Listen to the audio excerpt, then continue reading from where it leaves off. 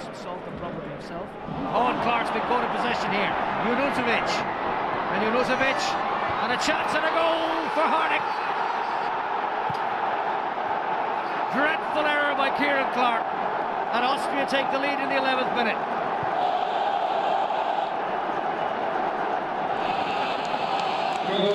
You have to learn the lesson.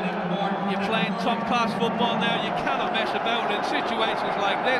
You've got to get rid of it. Better players will close you down, as has just happened.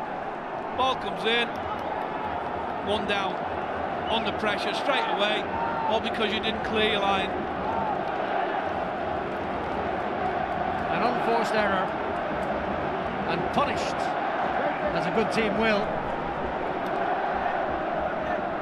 That uh, dreadful statistic comes up again of the teams that Ireland have managed to beat in competitive fixtures here in Dublin. And I don't include any of the big names.